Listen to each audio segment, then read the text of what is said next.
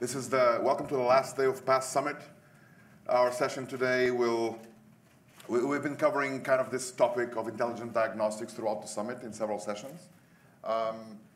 Alas, it's too much to actually cover in one session, so we've kind of been splitting up the topics into into into different um, into different sessions. So today we're going to talk about some intelligent diagnostics built in, not only diagnostics that that were built in, but why they were built in, and all the motivation around um, around the notion of intelligent database. So yes, please silence your phones. This is the customary PASS. Uh, please submit your evaluations at the end. Uh, my name is Pedro Lopes. I'm a program manager in the SQL Server Tiger team. For those that don't know, SQL Server uh, Tiger team owns all in-market versions of SQL. Um, in this case, from 2012 Uh, all the way to SQL 2017. And I focus primarily on the relational engine. That means whatever makes your query stick. Uh, and I enjoy specifically performance tuning and optimization. Hi, my name is Parikshit Savjani. I'm a colleague of Pedro, again, a PM in Tiger team. By virtue of being in the Tiger team, uh, my focus areas is to make customers and community successful on SQL Server, and in the process, I also work Uh, on making storage engine better with SQL Server. So that's my focus area uh, within storage engine. So backup, SQL OS is kind of what I look into. So let's quickly get into the agenda. So today, Pedro and I will take you through the, the automatic and intelligent diagnostics, which we have built in the SQL Server code, which will also help you make your SQL Server performance much better. Now, with all the diagnostics which we have, you need good tools to analyze and quickly uh, identify the common issues which you may encounter and make your job easier. So we'll take you through some of the tools. And finally, how can you use this diagnostic information to make intelligent decisions, to uh, automate some of the stuff? So we'll showcase uh, the demos to identify what are the common problems you might be which some of the common challenges which you had encountered in in-market releases of SQL Server, which is solved in uh, SQL 2016 and 2017. But in fairness, too much for one session. We've been covering this throughout the summit. Sure. Uh, we'll boil the ocean today. Got it. So like Pedro mentioned, I think in this entire uh, summit, you have seen SQL 2016, 2017 in piecemeal approach, wherein you have learned adaptive, automatic, choice, and all the other. So we wanted to give you in this particular slide, before we dive into the actual session, Uh, we wanted to give you a 30,000 feet overview of what 2017 release is all about. Because we in SQL Server engineering team believes 2017 is going to be a milestone release, which you might remember for quite long in the history. So 2017 release is all about choice, taking the SQL Server code across different platforms, Docker container, Linux, and Azure SQL Managed Instance. So the same application code being able to work across these platforms and giving choice to customers, that was one focus area. And I think our engineering team has done remarkable job in porting this code. I think sometimes we spend weeks and months of time writing scripts, uh, and here we have a millions of line of code base, which was just moved across and works as is in Linux. So I think our engineering team did a great job there. The next set of investments which were made in 2017 is uh, intelligent theme, and I would divide this into two sections. Uh, operational intelligence, which will wherein we learn based on the query patterns and try to self-tune uh, some of the SQL Server so that the performance works, I mean, it performs better out of the box without you having to turn on any knobs. So, and exposing some of the intelligent diagnostic stuff for you to be able to uh, take intelligent decisions. And the second aspect is data intelligence, wherein using your data in the database, a developer or data scientist can perform advanced analytics inside the database. So that is R Python Graph. Those capabilities are built into uh, SQL Server 2017. Uh, and finally, with all the goodies in 2016, 2017, you are now compelled or you, you're motivated to migrate to 2016 or 2017 or Azure SQL Managed Instance. So what are the new tools which are available for you to be able to upgrade or migrate to SQL Server 2016, 2017, or Azure? So DMA, uh, DMS, data, uh, database experimentation assistant, which allows you to perform A-B testing uh, for your performance, uh, how your workload would behave, will it regress? Uh, distributed replay was too complicated, and D, uh, DEA, uh, database experimentation assistant, simplifies some of that stuff. So these are the, at a very broad level, the theme of investments which were made in 2017 by the SQL Server product team. And everything here is driven by, uh, using it wrong? Yes. Yeah, everything here is driven uh, by customers and community. I think uh, there is a huge share of community uh, in all of these in investments which we have made. All the feedback which we have been getting from the community, some of the MVPs, is all is, is what we take back and put our investments into. So Undoubtedly, SQL Server has the best built-in diagnostics in the industry.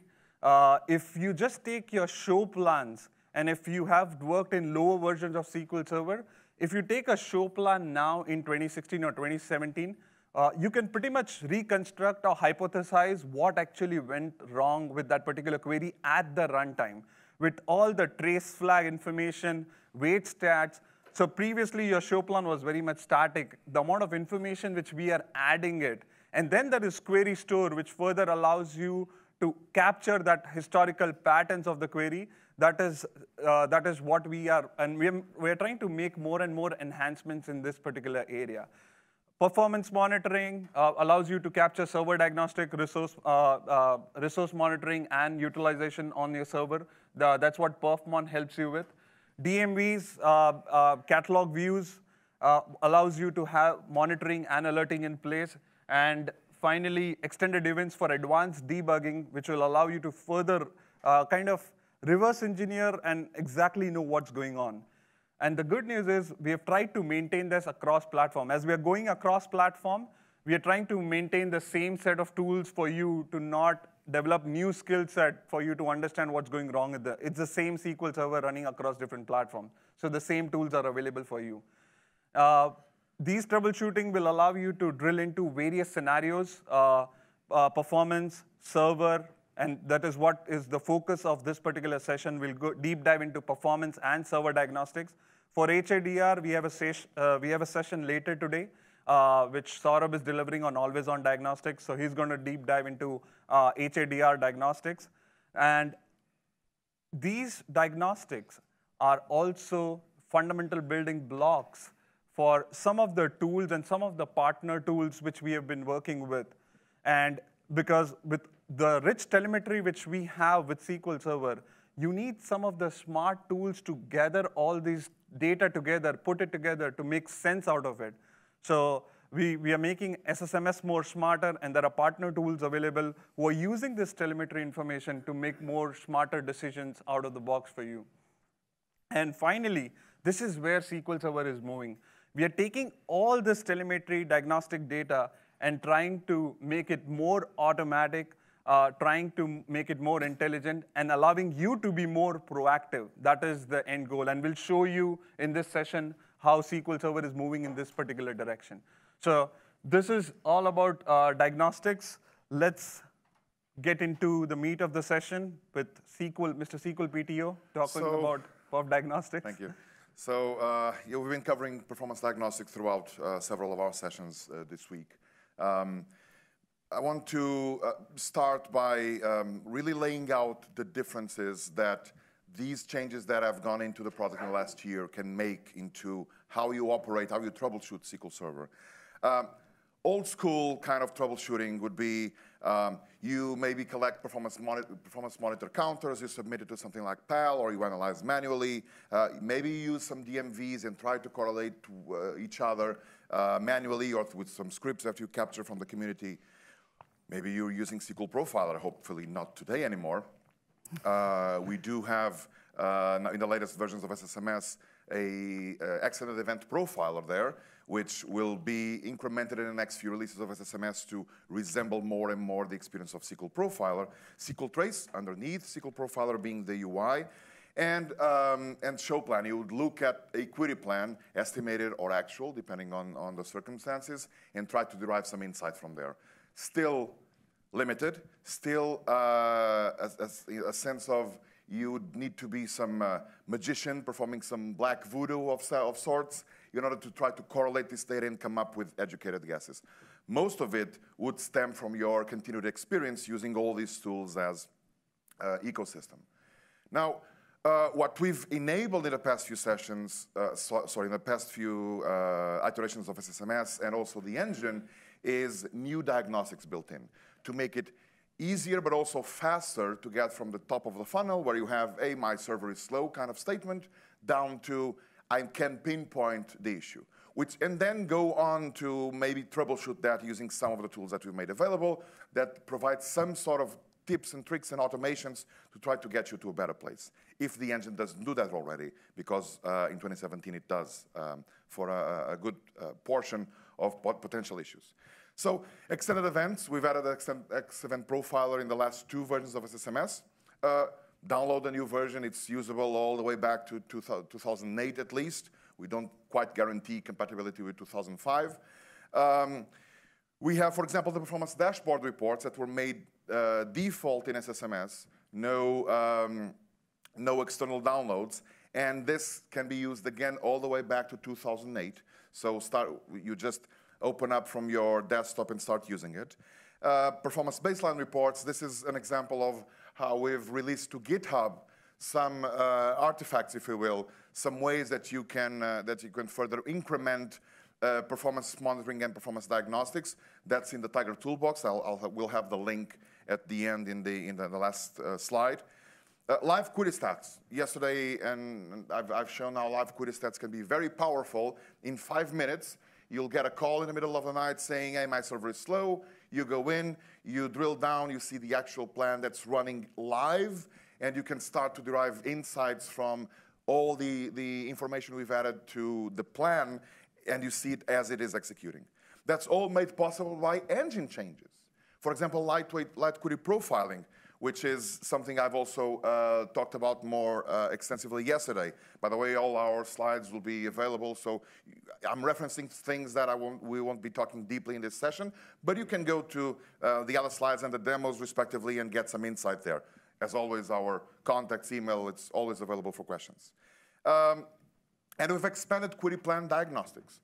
Uh, again, something I've demoed in uh, Wednesday's session with Joe, was, uh, again, features in SSMS like the plan analysis that will allow you to um, detect and, and analyze uh, CE differences, cardinality estimation differences, and give you clues on, hey, try this or try that in order to improve the performance of this query. So that's a number of investments we've been doing to kind of shortcut the time you need to get to a, a, a, a from a, a problem to an action on that problem. And you don't need to necessarily be an advanced 400, 500 level DBA all the time. You can go from zero to hero, like I was talking in yesterday's session, um, with using our tools to aid you in the process. And uh, by the way, SSMS, in that perspective, can be your new best friend. There's a, a lot of tools and capabilities built into S, to, to SSMS uh, from a plan analysis perspective, comparing plans and whatnot. I mentioned the performance dashboards in SSMS. This is just a screenshot there. Uh, with this and being embedded into SSMS, I can connect from my laptop or desktop as a DBA to any uh, server in my estate and immediately get a glimpse of the performance status of this instance. For instance, here I can see that the CPU is quite pegged, and that's been for, for some minutes now. I can see that uh, by the blue bar there that most of the CPU is being taken by this SQL Server process itself. So it is uh, something I want to take care of. I even see waits there, and I have a number of other, other artifacts. So point with Performance Dashboard being um, there's no extra downloads. If someone used Performance Dashboard before, probably you needed to download and then install a schema in master. And then um, you, would, you would perhaps not use that everywhere because you, maybe you're not authorized to deploy a new schema in master in your production servers, may, even though it's a, it's a Microsoft issue uh, tool. So now, no more of that, uh, just embedded into SSMS. We've also added uh, or changed the underlying historical waits um, report. Uh, before you would, you would go into the report, and I remember this quite vividly. Um, if, if a server is not, let's say, busy 90% of the time, you would mostly see idle waits as being the, the most prevalent wait. Well, an idle wait is kind of nothing, right? So, we, for example, we've uh, uh, filtered out uh, innocuous waits, waits, wait types that accumulate as a normal operation of a server, but don't really tell you anything. Those are filtered out from the wait stats report.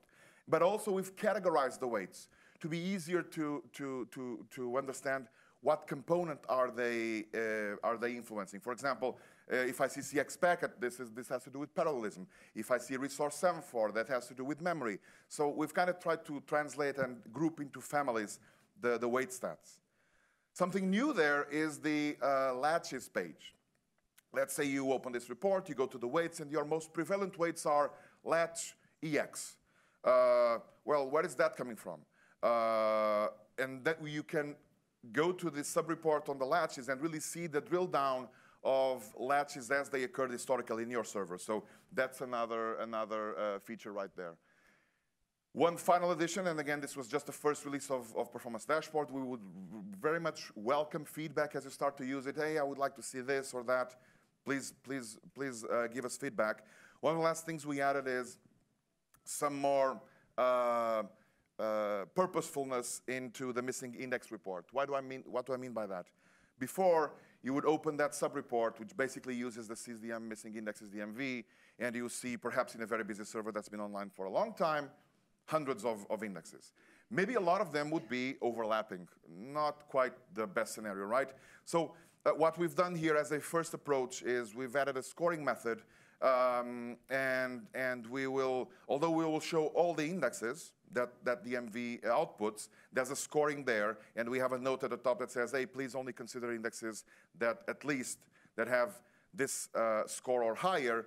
And when we say consider, it still means that you need to go in, look at your current indexes and see if there's a current index you can marginally change. For example, add one extra column to the um, to the uh, covering part, to the, the, included clause of the index, instead of creating a brand new one. So it still requires you to have some, some manual uh, uh, analysis there, but at least you, you will be able to derive only the important indexes from there. And the best part is it being out of the box with SSMS. So performance dashboard by itself is nothing new. We already had it but it required previously an external installable, and, and for you to run a script in MSDB. Now, most customers or most DBAs would, although it's been tested, but would not risk their job to run it uh, on your tier one mission critical box, even if it's coming from Microsoft. And we wanted to make it friction-free out of the box with SSMS. You don't have to, when you're managing large deployments of SQL Server, you don't have to run scripts on across all of them. So it works out of the box with all lower versions of SQL Server. You just need to get the new SSMS 17.2, and it just works. So, question? yes, a question there.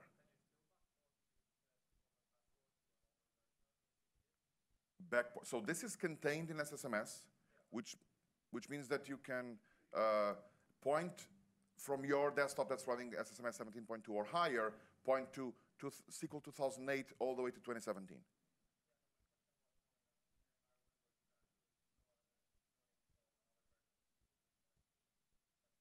No.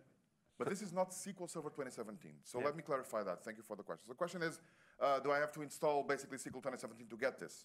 Uh, SQL Server Management Studio does not ship with SQL Server anymore. So uh, for nine or 10 months now, SQL Server Management Studio is what we say out of band with the main product, which means that it releases standalone packages that you can find uh, if you Google or Bing or whatever is your favorite engine, Bing for SSMS, you'll find a separate download that is not deployed with the product. Okay, and that means that also um, you can, we will update the, the SSMS every roughly two months. So it, does, it has a rapid update because we'll add features, we'll, we'll uh, fix bugs and whatnot. So you don't have to wait so long to get improvements into the tools as you did before, that you had to wait for service packs, for example, right? So it's completely out of band. You can, you can download standalone and use whatever. Does that answer your question? Okay. There was another question here.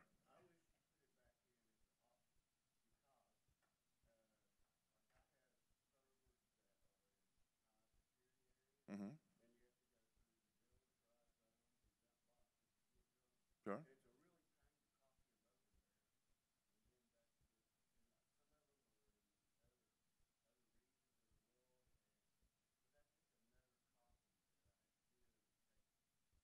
Previously you would have to copy, right?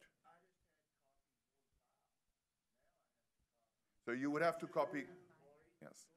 You would have to actually copy around 20 files because those are all the, the reports, plus the schema. Now what you need to do in this scenario is uh, you, don't need, you don't deploy anything into the uh, schema of the databases, which is a concern from a um, fundamentally a stability standpoint, if you will. If I'm managing an estate, I don't want any foreign non-line of business applications deploying anything, you can still take the um, SSMS uh, file there, and that's one single file, and deploy the new version of SSMS in your server and use them locally, for example. So how could you use them before? Well, we can we can uh, take yeah, this let's offline. let's let's take this Let's offline. take this yeah. offline. And yes, another question there, and then we go on.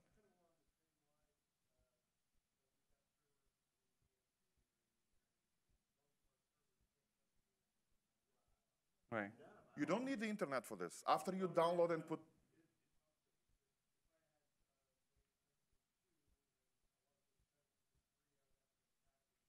Yes. Yes.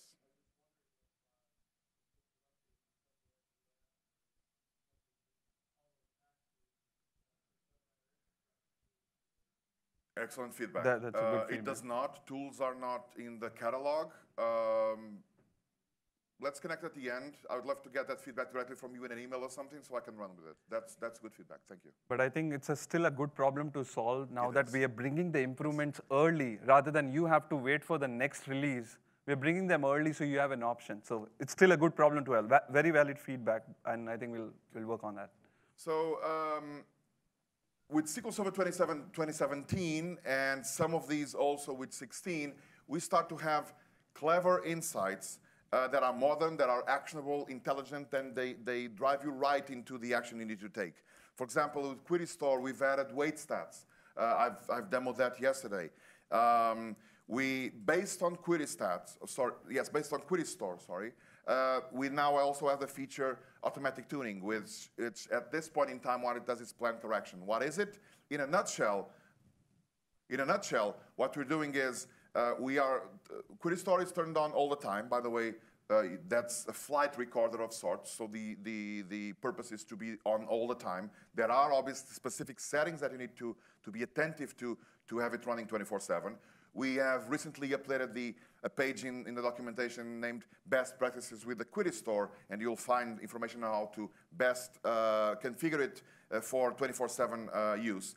Anyway, going on. So it's collecting information about all the running uh, workload, and should it detect a regression in the plan shape uh, due to some change, let's say, in statistics, or uh, it was a, that was a recompilation and, and you're now using a new uh, parameter in store procedure that changed drastically the plan. The point is we will detect there was regressions in, in, the, in a number of scenarios, and in the next few seconds after the new next few executions that the new plan is, is, is being used, we will uh, backtrack to the previous known good plan and use that one. Should it be okay, we'll continue to use it. Should it not, we roll back the change we just did. So it's kind of adaptive in that perspective. And now, if you want to then get insights as to what changed this, I have I go to the query store. I see that okay, uh, automatic plan reg regression correction kicked in. I have two versions of the plan. What's the difference here? We now have tools like the query plan analysis and the, the um, and, which is embedded into SSMS, plus the plan comparison that you can pull in inside Query Store, and you'll compare the plans side by side or top, bottom, whatever, um, and you'll be able to see in the UI, uh, because it will guide you through it, where are the similarities, where, where are the differences, and what, what may have, give you a few hypotheses of what may have changed. Um, and finally, adaptive query processing. Uh, we've been, we did a, a more in-depth session on, on Wednesday on this. Again, you're welcome to go in and, and take a look at the slide deck and, and the demos, run them yourselves. But we have now embedded into, into QP a number of enhancements that we deal with uh, memory imbalances, for example. If, if you've taken too much memory, then the query uses will uh, correct that in subsequent executions. If you've not taken memory enough and you're spilling, we will correct that in subsequent executions. We will use adaptive joins if you're using batch mode to make sure that you're using the optimal type of join for the number of rows you're bringing in, and that's adaptive on the fly at runtime. And a, new, a, new, uh, a, number of other features within this umbrella that we call adaptive query processing. So there are a number of improvements there that you can leverage out of the box uh, that remove some of the more tedious um, uh, tasks that DBAs may have had, and then, can, then we, you will need to just use your skills and your attention and your time to actually uh, run more in-depth uh, analysis and, and really shine in your, in your work without having to deal with your more menial tasks, if you will, that any DBA does. I was a production DBA for years. Uh, the, on the Query Store specifically, like I said, it's a flight data recorder. And in a plane, no one turns off the, the, the, flight data recorder, right? So it should be on all the time with the appropriate settings again. Uh, we capture queries, query plans, we capture compilation and runtime statistics, and those together with the embedded UI uh, and some other tools in SSMS will allow you to quickly uh, identify problems. With, uh, with auto-tuning, it will even correct performance regressions in minutes or seconds um, by itself. And the scenarios it enables uh, are, are quite a few. So finding regressed queries and uh, doing some ad hoc workload optimization, this um, this is just a, a screenshot on how I see uh, the, the view of having the same query with two different plans. That's what the circles mean. I have plan ID 1 and 2. And you can see that consistently, uh, plan ID 2 is, uh, has, consumes more resources than plan ID 1. This is the kind of scenario that uh, automatic plan regression would uh, understand and then go back to the plan that consistently behaves better uh, from any metric that you choose. You can choose a number of metrics here. So the point would be enable query store, let it collect data, and then uh, you, you either automatically or in 2016 manually, you'll be able to pinpoint and correct problems there. The way I look at Query Store uh, is, is it's like a digital assistant for a DBA.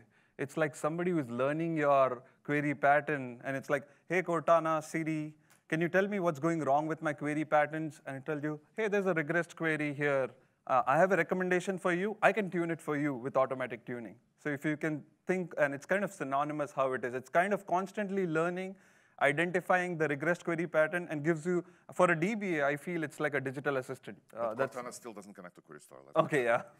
so uh, we've... There was a question, I'm yes, sorry. I'm sorry. Go on.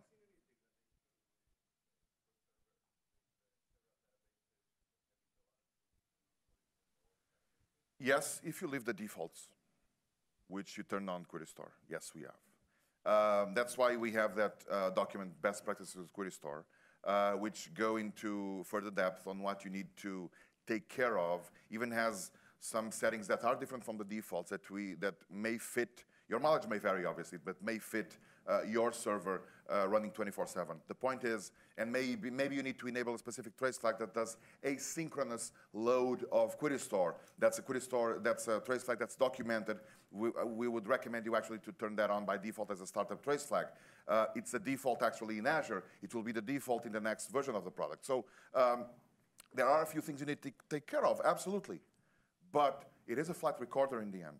You need to tune it and then use it for your benefit right? So thank you for so, the question there. So as a DBA, you might want to account for it and plan for it. When you're testing it, you would want to keep query store on. You, do, you shouldn't be thinking of something of it as an overhead or I would turn it on. When you're testing your workload, we, you because there's a lot of value to it for you to, to quickly analyze and, and quickly auto-solve some or self-tune some of the problems. So. so you see here a number of dimensions you can use in any report, in any view of Query Store. There's a number of dimensions you can explore depending on what you're looking at. I was seeing a screenshot of uh, performance dashboard before. I was seeing my CPU was spec, correct? While I have Query Store turned on, I can go in and I can, for example, select the, the metric of CPU time. uh, and I can, or DOP, depending if I'm seeing a lot of parallelism waits. And I can pinpoint my top heavy hitters in those dimensions, and then quickly, right there, see the plan and do some analysis in line. So it really enables the production DBA to see this data uh, live and, and use this flight data recorder to take either prevent preemptive measures going forward because a, a, certain problem has been observed, or, or B, even do some proactive uh, um, uh, analysis of how is your workload faring in this server, and do I have anything that I need to take care of? Yes, question there.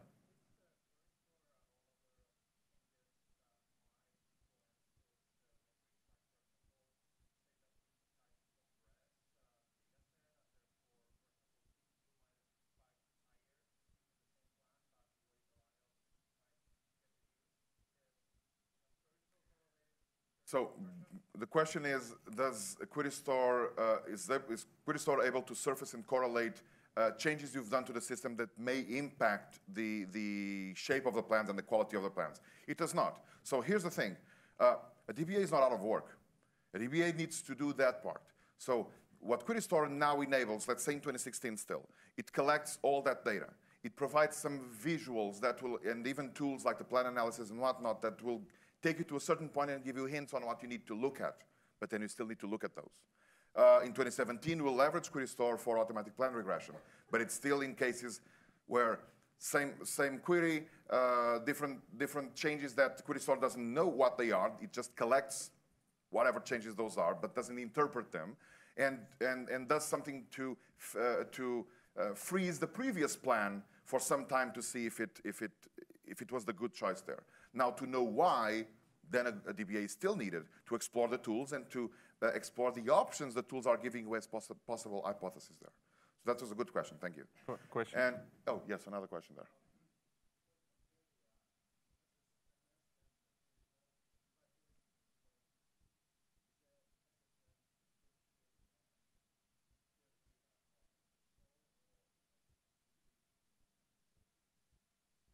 So uh, the UI is exploring the underlying DMVs, if that, if that is the question. Mm -hmm.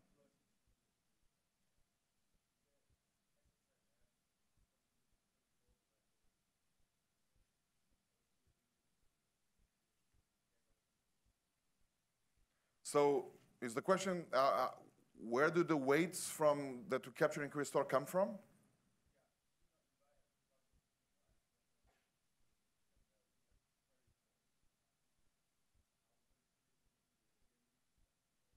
No, no, absolutely. Okay. So the question is, you ca capturing queries in uh, uh, wait stats in Query-Store. Do we still have them in the normal SysDMOS uh, uh, wait stats? Yes, absolutely. You do. Uh, two different bits. We keep track. one more, and then we need to go on. Yes.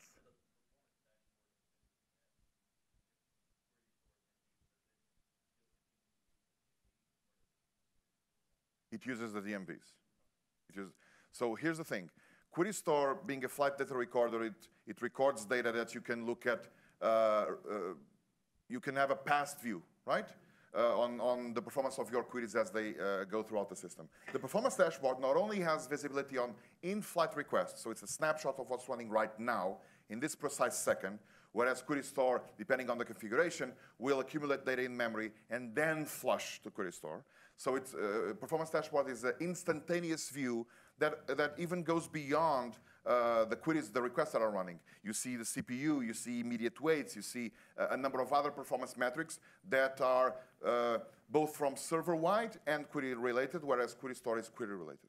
Okay, so a little uh, different scope there. As a DBA, so, I might start with the troubleshooting performance dashboard. If somebody tells me my server is running slow, I would start with performance dashboard, identify or isolate. Is it the query or is it the server? Is it CXPACKET? Is it blocking?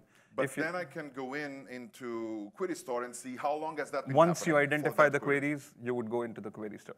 Yeah. So uh, you and you can, if you're doing troubleshooting on the side, or if you open a support case, uh, you can even uh, clone the, the, scheme of the database, but it will uh, take the, the Query Store with you, and you can analyze and explore Query Store on the side.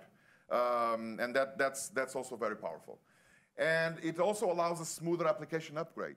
What do I mean by this? So our recommended upgrade uh, uh, method, if you will, revolves around you upgrade SQL Server to whatever is the latest bits you want to, to, to use. Uh, you move the databases there, but you keep the source database compatibility level. You then turn on Query Store with the right settings that you need to take care of in, in that you've, again, covered in that article. Uh, then you start to collect your workload. You create a baseline, whether it's already in production or if you're still in pre-test and you run your workload to create that, that clean baseline. Still in the previous compat level, still making sure that uh, for, from a cardinality estimation standpoint, you're using the rules uh, of, the, of the engine version that you came from, which is essentially what can drive uh, uh planned shape differences that then turn into uh, planned regressions. But then, uh, after some time, after you feel that one or more business cycles have gone through your server, and you feel that, okay, uh, all my example workload has been captured by Query Store, you bump the compat level to the latest. Um, and then you will allow, uh, either if you're using uh, SQL Server 2017, it will automatically identify if there were planned regressions and for those specifically, move back for, just for that query to the plan that used to work better until such time you have an opportunity to use other tools to analyze the differences and maybe enact changes that the query itself to then make it work natively, if you will, uh, with, the, with the, uh, the new CE and other rules that we've implemented. Uh, or if you're in 2016, it will still allow you to, see, exploring the UI, see what queries have regressed, and in a click of a button, freeze the previous known good plan and use that. So this is the recommended upgrade method because leveraging Query Store, you don't need to guess. You can see what has regressed. There's a specific report for what has regressed. And you can, in literally two clicks, fix the, the problem with specific queries that you've seen there. An example of more powerful insights that we've unlocked in the tools also stem from what we added to, uh, to the engine uh, in terms of data collection and, and, and exposing that data. One of which is uh, the latest in SQL 2017. We've uh, exposed statistics information in ShowPlan. So SQL Server the, uses uh, building blocks for performance are statistic objects. They keep metadata on the data distribution on the underlying tables. We really can't scan the tables before optimizing a query. We need to rely on the quality of that metadata. Now, if they need to be updated and with a sufficient uh, sample of the source table, if you will, to accurately portray the data distribution. And with that, SQL Server can then do its job better by uh, being able to uh, predict what uh, type of reads, let's say seeks, scans, and other operations would run through the plan to get you your data set. Now, that, those building blocks called statistics are loaded when we compile a query. And before, we didn't expose that. It may be interesting for you as a DBA to know that I'm looking at two queries. One is much worse than the other, or has gone increasingly uh, uh, slower with time. And at a certain point in time, I go in, I look at the compiled plan, and I want to see hey, what is wrong with this? Now I know that, knowing that statistics are the building blocks for uh, how the uh, optimizer builds plans, now I can, take, I can uh, see some insights there. For example, I can see the modification counter. If I have a high modification counter, and maybe the date, the last date that the, the statistics were updated, which is also in line there, is long ago, maybe I need to manually update statistics. And with that, that will trigger recompile of the plan. And uh, maybe one of the causes that you are seeing a, a, a slowdown, a different performance is because uh, the underlying data distribution changed, but the statistics don't reflect that. They are out of date. So therefore, you can act on that insight you get just by looking at the plans that, again, are in Query Store, because this is part of the, the plans that are captured by Query Store, or by using several tools that you can go directly to the cache and grab a plan from there. So it's, it's readily available. Yes, question there.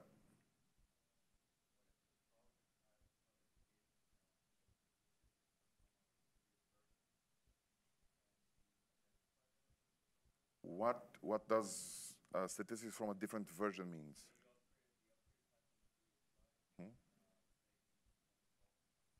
Sure. There's so they they would if they they were up to date in SQL 2012 just before you you move the database, they will work as is in SQL 16, 17, whatever. Um, We will use the information that was there. We'll use the same mechanism where, whether it was back in 2012 or now in 2017 to understand if statistics are, stall, uh, are, are, stalled. And if you, are, uh, if you have enabled auto-update statistics, for example, those will kick in. So that scenario that you mentioned does, can, does not, uh, it's not a, a, root cause per se, just because I upgraded statistics are not usable, okay? Those, those carry on with the database as it moves to a new version. Okay, so very quick demo on this and I need to pick up the pace here. Um, a very quick demo on, on uh, uh, what we, how we can quickly identify and, and do something about, about statistics here. So um, I have a store procedure, and you might recognize this as a um, uh, uh run-of-the-mill uh, parameter sniffing issue in the end. I have a store procedure here uh, that I execute as part of my workload, right? So I execute with a certain uh, parameter here, input parameter. I want to see customers by status zero, okay? And I get a, an output, and looking at the uh, looking at the plan here, I see that the index seek as excuse me, let me just uh, move here, yes. We can see that um, while the uh, estimated number of rows was 18,000, the actual number of rows were just 100. Okay, so quite a big difference here. Um, this, is the, this is one of the first insights that, um, that you need to, to, take a look at when you open a, a, an execution plan. It's to look for, and by the way, this plan analysis tool embedded in with SSMS does this for you, points you directly to where you see the bigger differences between estimated, estimated rows and actual rows, because that's where you want to act. That's where you want to maybe improve uh, uh, estimations by updating statistics or creating a better index for my predicate, for example. Um, so I see, I observe this, um, this scenario here. And uh, what I can do, so I have a, a large skew here. And the, the, the, the difference uh, in these estimations comes from the little thing called statistics I just mentioned. So what we can do is we can go into the plan and in this case, I've ran the query manually uh, and, and gotten the plan, but I could have done just this, for example, which is to grab the estimated plan without executing it, or actually go to um, or actually go to Query Store and see this information there. The point is, uh, it's, a, it's not a runtime uh, operation. We are loading statistics as we compile the query, so this is already in the cache. That's what I've done. I've now collect, not collected the actual plan, but the estimated. And what I can see here is in the root node of the query, I have a number of useful information, uh, one of which uh, being optimizer stats usage. So which statistics were loaded by the optimizer, which then made him decide the way he did around what operators to use and whatnot. I can see immediately here that the modification counter is 19,000. It has 100% sampling rate, so that's, that's good. That means that I, the, this statistic accurately portrays 100% of the uh, underlying table in terms of data distribution. I do see modification counter is high, uh, or at least it's, it's, it's a high number. I don't know what, what, this represents because at this point in time, I don't know the cardinality of the table, meaning I don't know how many rows the table has. So I don't, I know there's a number here, it's not zero, uh, but I don't know if it's, uh, what does it represent as it relates to my table. So what I can do is, I do know what table it is, right? So um, I can quickly actually go to my uh, table uh, and understand how many rows that table has. So it's customer status. So I can go into, uh, what is that? Customers, customers here. Table customer status, what is that? I lost it. Oh, it's DBO, thank you. Okay. And I can even visually go to the properties, and um, as it opens, I can see here, let me let it open, I can see here that the table has uh, 19,000 rows. So the table has 19,000 rows. The modification counter is 19,000. So that means that maybe the table has changed entirely and I don't even know, uh, the, may not even have an accurate uh, portrayal of the underlying data distribution. So what do I do next? I now have this information that I've derived even from the uh, compiled plan, from the uh, estimated plan. So what I can do is um, I can go in and, and update the statistic. But besides using these visual tools, there are other artifacts I may take advantage of. I can uh, write my own scripts to do this analysis for me. For example, in this case, I'm using one of the new DMVs we've enabled, SysDMDB stats histogram, that what it does is the same is uh, uh, output the histogram uh, that relates to that uh, stat name, which is the same as the index here. So if I do this, what I see is that um, looking at the histogram for the range key zero, remember zero was my input parameter, right? So I want to see in that histogram where does the value zero uh, is coming from. So that's why I have where range high key equals zero. And then I see that it's the first step. Um, and I have uh, 18,000 rows that are equal to value zero, but still it estimated 100, remember? So there's something quite wrong here. I'm looking at all these, I'm getting all these uh, insights without running the actual query. So um, if we, if we can update statistics, let's say with full scan, because before it was already with 100% uh, um, sample, it's 19,000 rows, it's not that big of a table. I will update with full scan, and once I again get, even if it's just the, um, the estimated plan, so the compiled plan, uh, for the next execution, what happens is uh, SQL Server will understand that it needs to recompile this query. And in this case, oh, sorry, let me, okay. And, oh, come on. Oh, I know why. It's live zoom instead of static zoom. This is what I wanted. So now, not only I, would I get the 100 rows as I've seen in the actual plan, but now I'm estimating the 100 rows that I will get. So I could derive the insight that my statistics were out of date by looking at either visually in, the, in, the, in SSMS or going through some uh, artifacts in terms of scripting and understand how to improve estimations uh, in this query. Okay, let's go back.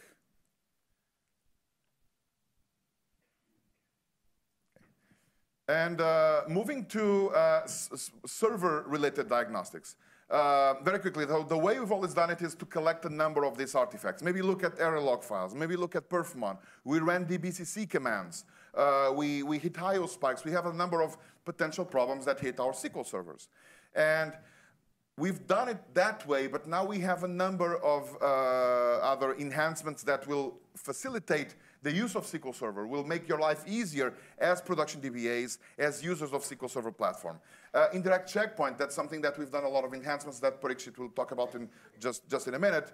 Um, we've added a number of new DMVs. You've just seen that one that outputs programmatically the statistics histogram. So there's no need for, has anyone before dumped to a table DBCC show statistics? One person, two, person, two people, okay. And now, uh, and then you would dump to a table and then you would need to query the table. Well, not anymore. You can look at the histograms in line uh, and embed that into your troubleshooting scripts if you have those to just uh, derive insights uh, dire directly from there. Uh, but for example, auto tempdb configuration at setup time, that's something we've done already in SQL 2016 and we've enhanced with the setup in SQL 2017. TempDB being one of the, being a global resource and very, let's say, prone to or, or um, sensitive to how, the way you're using SQL Server, out of the box, it's, it's uh, configured in a way that will withstand most scenarios. Uh, and we also know Linux, by the way. We now have, with SQL 2017, we have artifacts that can, uh, uh, you can see performance aspects of Linux itself inside SQL Server. And so the new world means that I'm now using extended events. There's nothing you can trace, basically. And we, even in SSMS, we now, with 17.2, if you notice at the end, we now have an X event profiler that does basically the same thing you were accustomed to in, uh, in SQL profiler. And as an ongoing diagnostic collection, we've talked a little bit about the query store, and now it's a, it's a, a black, box, black box recorder, a, a flight recorder of sorts. And stuff that you used to do with DBCC commands, like for example, DBCC source statistics or DBCC input buffer that to, to collect the, the um, statement that was running at the time. Now you do it with DMVs, with controlled objects that you can programmatically use in line. Uh, DBCC, ex, uh, uh, sorry, SysDM uh, exec input buffer or SysDM ex, uh, the stats histogram. So we are, we are turning, let's, let's leave DBCC commands to, um, to actually doing consistency checking and, and move away of DBCC commands for uh, other types of, of uses. And we've talked about TempDB autoconfig. We've also added a number of insights into, into TempDB that Parikshit is going to talk about. And finally, dynamic resource usage. In back in 2016, and then we've improved in 2017, you have better memory response for, we, we have a feature called dynamic uh, partition memory objects, which will, depending on the size of the memory that your queries require, they would, they would need to go through a gated system in order to access memory. There's a full blog post that my colleague Ajay has done on that. Uh, and now we've automated that, so that means that uh, you don't have to, to worry about uh, how do I configure SQL Server trace flag X, Y, or Z in order to accommodate uh, influx of different uh, types of queries requiring different quantities of memory. It's dynamically uh, allocated and escalated for you. And smoother I.O. with, again, with some enhancements that Parikshit is going to talk about. And one of those being indirect checkpoint. All right, let's talk about indirect checkpoint. So as a DBA, you might have heard about indirect checkpoint for predictable recovery time, right? Uh, we introduced it in SQL 2012, wherein if you want your database to recover within the specific time in seconds or minute, uh, you use indirect, check, uh, indirect checkpoint. But behind the scene, indirect checkpoint is much more than uh, just a predictable recovery time. Uh, we introduced new heuristics, the way we manage and track dirty buffers in buffer pool. And I'm going to show you that why it is important uh, to turn on indirect checkpoint on large RAM systems, even when you're not looking for predictable recovery. That even that, that is not the goal. And that is one of the reasons we also made it as a default in SQL Server 2016. So in SQL Server 2016, in model database, your default, uh, by default, indirect checkpoint is turned on with a target recovery time of 60 seconds, which is within a minute, which means every new database you create, you will inherit those settings. And there is a reason why we did that. And it's not just about predictable recovery time, but because we have better heuristics with indirect checkpoint, uh, which we have turned on uh, to track dirty buffers. So let's, let's look at the previous algorithm, which we, what we call it as automatic checkpoint algorithm. And then let's contrast with the, the new indirect checkpoint algorithm. So with automatic checkpoint algorithm, and I'm looking at it from the perspective of tracking dirty buffers in buffer pool. So if so, I'm running SQL 2008, this is what I'm seeing, or SQL 2012? See, yes, this okay. is what you see. Even in 2016, if you don't turn on indirect checkpoint, this is what you would see. Okay. So your dirty buffers in SQL Server uh, are tracked by something called as buffer array. Uh, so because if I want to quickly identify what are the number, number of dirty buffers during the checkpoint, rather than scanning the entire buffer pool, I, am maintaining an array by which I can go and track through uh, and, and scan that particular array when I want to do perform checkpoint. Sorry, Parik, what are dirty buffers again? Dirty buffers are pa pages which are modified but not yet uh, persisted to the disk. That is what dirty buffers is, right? So, and but one of the challenge in automatic checkpoint is the dirty, the buffer array doesn't have any context of the database, which means if you are having a, a checkpoint on, let's say, master database, I still have to scan entire buffer pool which for the entire instance. Now, this is still not a challenge if you're running on a low hardware, like uh, till when I, when I mean low hardware, maybe less than 64 GB, or a decade ago when servers were less than 64 GB in size, scanning the buffer array is still fast enough for you to not even notice. But the challenge comes in now when you move to terabytes of servers, wherein even though your database is small, if, even if your system database, master database is few MB, if I have to scan the entire buffer pool or buffer array, I'm, I'm spending a lot of time spending uh, on, on scanning just the buffer pool for the dirty buffers for, for one database. So what changed or what changed which we brought with dirty uh, indirect checkpoint? So, and, and this is also one of the reason wherein when you encounter some issues, and rather than upgrading SQL Server, you might choose, you're running a SQL 2008 box, you might choose to upgrade the hardware, but not upgrade SQL Server. You might end up seeing more problems because you don't have indirect checkpoint turned on. So the customers were like, okay, let's throw more hardware at the problem. Let's not upgrade SQL application stack.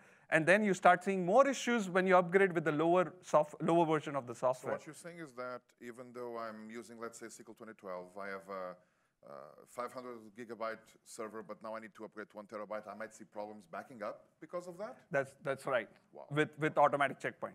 I, I know there is question, I'll, I, I, I'm running out of time, but I'll follow up in, in case, yeah, because we are running short on time. With indirect checkpoint, what we do is we, every time a, a page gets dirtied, we capture the dirty page context, which has the context of the database. And further, we partition our dirty page list by schedulers. So if, and again, this is a question for all of you guys here. Whenever you have a large table and scanning or maintaining that table is a problem, what, what options do you have normally? Part, partition it, exactly. We did the same thing with arrays as well. For the buff array, we partition it kind of by database and by scheduler. So every dirty buffer is now maintained by scheduler. And the, the advantage for this is now when you create a database or when we do a checkpoint, we have decoupled ourselves from the size of the RAM. We, we know exactly which pages are dirtied for a given database. So when you're taking a backup or when you're creating a new database, we are actually actually know which uh, pages are dirtied for, from that. So this is the new heuristics which we have added, and that's the reason we also made it at default in 2016 because we know with now onwards you will not have GBs of server. We are talking about terabytes of server, which is very common these days. So to give you some stats, for 4 terabyte RAM, we have to scan around 500 million buffers. Even if you're just creating a database, you would see, you would, and it, the size of the database may be irrelevant. Maybe you have your instant file initialization turned on. So at the storage level, the data file is created very quickly, but the scanning of the buffer itself takes a lot of time. But with indirect checkpoint turned on by default, we would only scan like 250 bu buffers as opposed to 500 million buffers with 4 terabyte RAM system. So that's one uh, example of how we are building the new heuristics and using it ourselves to give you a, a, a better solution. So let's drill down more on indirect checkpoint and how indirect checkpoint works. We have something called as a background recovery writer thread, which is constantly doing a dirty page poll. And the way it works is it will, it will constantly monitor based on your target recovery time. It internally tracks the dirty pages which it can afford to have. And the moment you cross that dirty page threshold, our algorithm will start scanning DP list or dirty page buffer list we start with scanning the largest list uh, from the scheduler because we know all the worker threads are working on scheduler, so there is one list per scheduler. So the one, the, the list which is the longest, we start from there, right? Uh, then we start collecting the page ID under a spin lock. We sort those pages because when you're writing those pages, it, it is much more optimal and efficient when you have pages which are in the same vicinity to write them, to optimize the I.O. And then we write those pages. And so as, as the, the job of the recovery writer is to scan the largest DP list, and in the sizes of 128 batches of pages, we, we put them in the write queue, and from there, there is a I.O. completion routine per scheduler, which will do a gather write to write those pages and flush them to disk, right? So this is overall how we operate. And once the IOC thread has completed the writes, we would, the IOC thread also need to go ahead and update the DP list that these dirty pages I have persisted to disk, and now you can remove it from the dirty page buffer or dirty page list. So it also does that under a spin lock. Now, one of the reasons for me to go, get into the details of this algorithm is uh, there is some challenge which you might encounter when you have a skewed distribution of the database buffer list. What, what do I mean by skewed distribution? Now, when you have a batch kind of a workload, now you have few threads across your CPU. Let's say your 64 CPU machine or whatever uh, your CPU size is. You, you have a batch workload wherein you have few threads which is doing a lot of activity, which means those dirty page list becomes longer and longer. And then the background recovery thread is focusing on those lists. The IO completion thread is also focusing on the same list, and both of them are contending for each other and conflicting for spin lock because the one guy has to clean it up and the other guy needs to flush them. And in the process, when because uh, it's a recovery interval, we need to honor your target recovery interval. If your background recovery writer thread starts lagging, we, we have a new routine called recovery writer helper, which means all the worker threads which are running on other CPUs will also start helping recovery writer to push them here. Now the challenge is this exacerbates the situation. You have all the worker threads trying to work on the same list under a spin lock, and you would start seeing challenge uh, and spin lock contention with this particular issue. So, so we are trying to just honor the configuration that each DBA has set on the database level for recovery interval. That's right. And even our defaults in 2016. So we are trying to honor the target recovery interval of 60 seconds uh, and, and, and try to fight if uh, we are lagging behind that we may not be able to make it for that 60 second. The recovery writer is being held by all the write helpers here as well. And then it kind of exacerbates the situation with all the spin lock contention in place. So in 2017, uh, the way we did is, now we turned this on for TempDB as well, because TempDB, uh, although uh, you, you don't have recovery goals for TempDB, right? There is no point to have a target recovery interval for TempDB, but TempDB still inherits the properties from model. So TempDB, by virtue of that, will inherit your indirect checkpoint algorithm as well. What we did is, is we limited the helper thread for TempDB. That elevates the problem of your spin lock contention uh, by, by a lot. And further, we have currently turned on a knob for you guys if you feel that, hey, there is a lot of DP list contention. The reason I'm talking TempDB is in any SQL instance you pick up, your most IO intensive workload is TempDB. Uh, whether knowingly or unknowingly, or you would see your workload, your spills, your temp tables, your caching, everything happens on TempDB. So uh, your TempDB will have the highest IO workload. So you would see this problem, which I just uh, illustrated of the uh, DP list contention or spin lock contention, you would see that in TempDB. And to solve that problem in 2017, we changed that. And if you see the difference in our TPCC-H benchmark, the transactions per second in 2016, which for the same workload, which were 12,000, it improved to 20,000.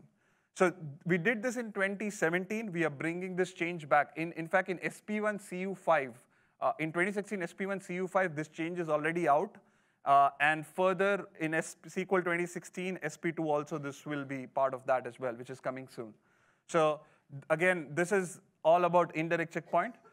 Now let's see how did we use the indirect checkpoint algorithm to make our backups faster in 2017. So this is how your backups operate. And I'm, I'm, I'm giving you a very brief overview of the steps we perform during a backup. Whenever your full database backup starts, at some point in time after, and I've skipped few steps, for some, uh, after some time, we clear the di uh, differential bitmap, right? Uh, you guys are familiar with differential bitmap. For differential backups, we maintain a bitmap in database. So every time you take a full database backup, we clear that so that yeah, we can track those differential pages. Now, before, before we can clear the differential bitmap, what we do is we have to iterate through the buffer pool to drain out all the pages which might be modified in the dirty buffers before, because I want to persist that, them on the disk before I can go ahead and clear those bitmaps. So I, I go through the bpool iteration. Then I perform the checkpoint, which will ensure all the dirty buffers are persisted to disk. And then we clear the differential bitmap after that process. Then we establish a backup LSN disable the truncation of the T-log while, even while taking a full database backup because I want to make sure I give you a consistent copy of the database when you restore. So I disable log truncation for some point in time during the backup process. And then I establish a backup sync object which tracks the dirty buffers going forward because as I am copying the data, and you might have terabytes of data, there might be new changes which might be happening. So I need to track those pages also. So, but be, between the time of last checkpoint and the backup sync object, there might be few other dirty buffers which might have been unaccounted. So we have another round of buffer pool iteration, uh, which, which wherein we wait for draining all the, the IOs, and then backup sync object will take care of all the future IOs. And then we actually do a data copy at the storage layer to create a backup, uh, end LSN, and backup, uh, the backup ends there. This is the entire workflow here. Now, if you see the size of my arrows, it is representative of, for small databases, you might, when I say small database, let's say take master database for an example, you might end up spending more time in iterating through the buffer pool rather than the actual data copy process. Let's say your database is a few MB or few GB in size, but you have terabytes of RAM. You would see you spend more time in your, uh, your buffer pool iterations than actually your data copy. And this is where, again, we use the indirect checkpoint heuristics which we have, because indirect checkpoint keeps track of all the dirty buffers for a given database. So we already know ahead in time what pages are dirty. We reuse that, and in 2017, we have eliminated this, eliminated this, and that reduces your backup time significantly. Uh, to give you some stats about uh, how the backup performs uh, uh with indirect checkpoint turned on, this is your backup performance results in SQL Server 2017. And if you see your most improvement are for small databases, and this is very common in consolidation scenario wherein you have large SQL instances and you consolidate small databases there. You might have few uh, GBs of data which will show 100x improvement. And as the database size grows, might, the improvement, uh, uh, uh the, the, uh, the performance gain decreases because the data copy takes a lot of time there. So that's the reason you would see this kind of performance trend. So this is uh, what you would see or what you can expect in 2017. The next change which we had is smart differential backup. Now, most customers would take differential backup for very large databases to save time and to save storage. So normally your backup plan would look like uh, you would take full database backup on every Sunday, and then you would want to take differential backups on every weekday. The challenge sometimes, what, what happens, uh, uh, what you may encounter is, on Monday you had 10% of the change or pages change, and differential backup is a cumulative backup, it's not incremental. So you, you on 10% changes, so you will have a small backup, uh, you, it serves the purpose for which you had a differential backup. Tuesday, you had 40% of the changes, and you would still not see, and you'll still gain from differential backup. Let's say on Wednesday, you have 80% of the pages on the database changed. That means the size of the differential backup and the time it takes to differential backup is same as full database backup. You're not gaining anything from differential backup. It's pretty much similar to full database backup. By Thursday, Friday, you would see a differential backup uh, in terms of storage and time similar to what you have in full database backup. The challenge is you have restore change too long and it is impacting your RTO. And further, you are also uh, uh, having more storage size also. So now we exposed the new, uh, new column in an existing DMV. This is the DMDB file space usage called modified extent page count. You can use this to track the pages changed per data file and further aggregate it by database to find out percent change uh, uh, of pages per database.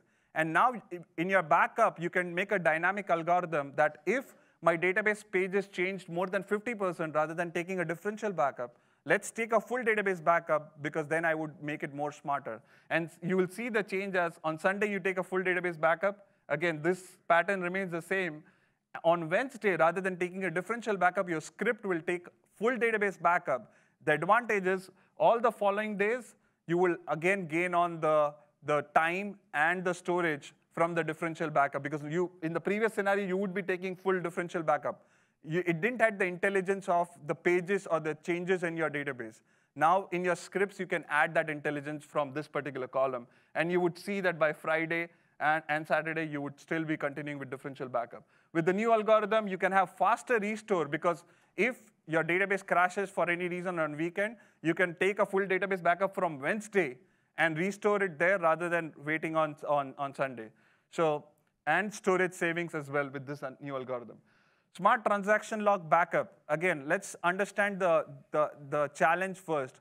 Most DBAs with full recovery model for your production database will always have an algorithm of 15, minute, 15 minutes default uh, uh, uh, transaction log backups, right? Now, let's say if the changes in the transaction log at 9 o'clock is very minimal, you would still take a backup. It's a time-based backup you, your algorithm doesn't take into account for the transactional activity on the, on the server. So let's say at 9.15 you had moderate activity, you would still take a backup. Now at 9.30, between 9.15 and 9.30, there was a huge transaction burst. Somebody ran a batch load. Now between this time, your active log cannot be truncated because it was not being backed up. What happens in this scenario? auto grow. Yeah. So you will see an auto grow because your active log exceeded the total log file size. You will see an auto grow. And you would see a similar pattern if there is another transactional burst, you will see another auto grow. Now, from a DBA perspective, you're doing all the right things. You have a, a T-log backup job, which is taking backups at, at a particular schedule. So you're doing all the right things. But because your script doesn't have the intelligence of the transactional activity on the server, you, you cannot take the backup when you actually have to to avoid auto grows, VLF fragmentation, and all the other challenges. So your current challenge is the algorithm is not adaptive, frequent uh, auto grows, VLF fragmentation, and inconsistent backup size.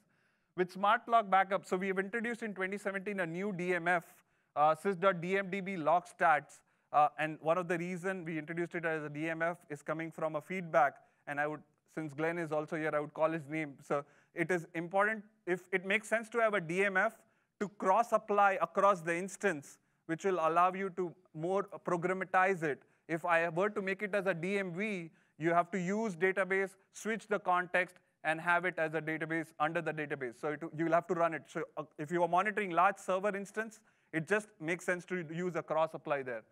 So with the new algorithm, what you'll see is whenever you can keep a threshold of, based on the active backup size, you can keep a threshold whenever my active log exceeds a particular value, which might be 80% of your log size, you would want to take a full uh, a T-log backup automatically. So you will, your active log will never exceed your T-log size. Your backups will be consistent. And what you will see is you will have minimal auto grows, no VLF fragmentation, and consistent backup size. And let me also illustrate the same with the, with the demo.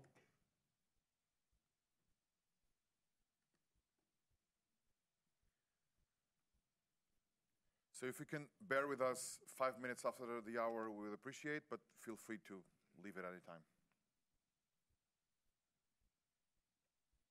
Come out. Uh, yes, Ah. there, you have it. All right. So let me quickly run my scripts. I'm creating a sample database here. I'll start my backup job, and this is to show you the scenario what happens today. With your scheduled backup, I'm taking backup every one minute, which normally you would have it for 15 minutes or whatever schedule you identify. You would take a backup periodically. Now, I have this Power BI dashboard, which is developed using the new DMF, which I just showed you. This, this, all the fields from this is pretty much coming from the same uh, DMF, uh, which I showed you. And if I just were to refresh this, what I'll do is I will also start the workload in the interest of time. So now I'm starting a workload. Uh, this, if you see here, the fields of interest would be, let's see the total log size, which is 80, M, uh, 80 MB.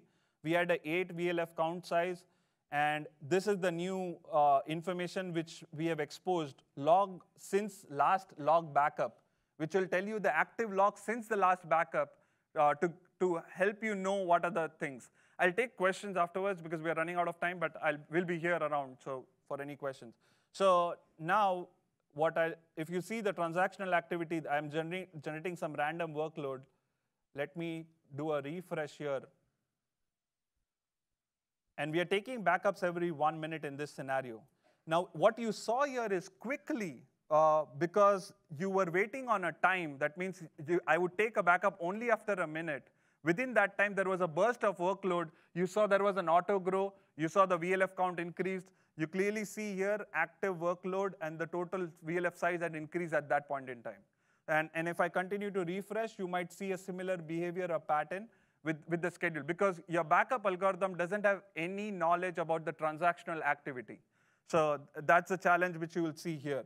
So let me quickly switch to a different algorithm. Let me stop this. Let me stop my workload.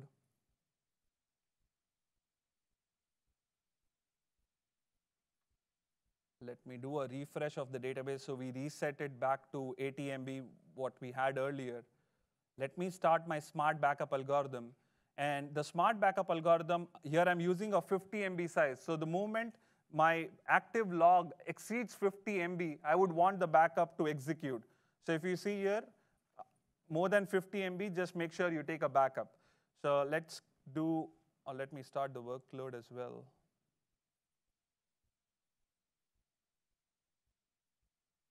And let me start the workload. Okay, it started.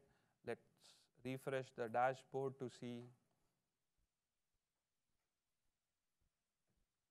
So again, we are reset back to uh, 80 MB.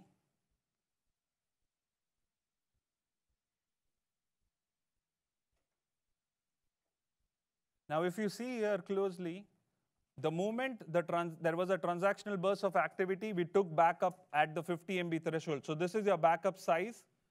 And if you see here, we never we had had an auto grow. Our backup size was always consistent to 80 MB, 8 VLF count, and we continue to do that. If you see here, we constantly maintain the same 50 MB backup size, no auto grows, no VLF fragmentation issues. This is how you can build intelligent algorithm as a DBA uh, using the diagnostics which we have. Again, I'll do a quick refresh again, just to show you that it, the algorithm will continue to have 50 MB backups with no autogrow, right? And there is a workload which is already running and which might have more burst of activity. All right, quick. We are two minutes away from being done. Right. Thank you for. Uh, yeah. So one, one, one more diagnostic information is TempDB Insights. So uh, in 2017, one of the common challenge with, with you as a DBA would see is who is taking my TempDB usage? I mean, who is, I, I see my TempDB growing, but I don't have any information about what is taking it. So we have added a new DMV for, to track your version store usage uh, across the instance. So you can build some uh, reports of this like a heat map, which will tell you what is your version store usage per TempDB, which will allow you to do some capacity planning as well. So that's the DMV information. And, and this is just the start. We will further continue to invest in the TempDB Insights area because we know it's a common problem or challenge for, uh, for customers. And I'll allow Pedro to talk more about what we are doing next. So last, uh, last, last uh, piece of the session is what, what's next still for 2017. So as you know, we will now uh, be releasing for the first year monthly cumulative updates. Um, some of the things that are coming shortly will be, for example, in terms of parallelism, um, and, and I've demonstrated this uh, a couple of days ago, we have a new wait type for parallelism, which means that uh, we'll now be able to be more concise more, uh, and drive a more specific action when you see parallelism waits. There are parallelism waits that you can act upon, others that cannot. They were all amalgamated under CXPACKET. We've split those. And, uh, and uh, you, can, you can see that in the session from, from Monday from Wednesday, sorry. In terms of statistics, um, we'll now uh, will allow you to influence the way that statistics creation and update use parallelism. That's also coming for 2017. Or uh, more accurate auto statistics update for incremental stats, which has been a pain in some scenarios. Uh, for example, for resource governance, will allow you to actually hard limit the query execution times. So if the, if the query execution time is exceeded from what you, DBA, has set for a specific resource pool, then we actually hard stop the query and roll back. Uh, or for TempDB, for example, spill information uh, will be available under different DEX events and, and DMVs. So you'll be able to have more precise information on the scope of TempDB of what spilled and, and where it came from. So I will just leave you with some bookmarks uh, that may be useful. For example, dashboards that we've talked about will be shared in the Tiger Toolbox GitHub, for example. We have several tools there that you may want to take advantage of or, or uh, reads uh, maybe for the trip back home. Um, and well, thank you for your time. And uh, please evaluate, submit your thank evaluations. You.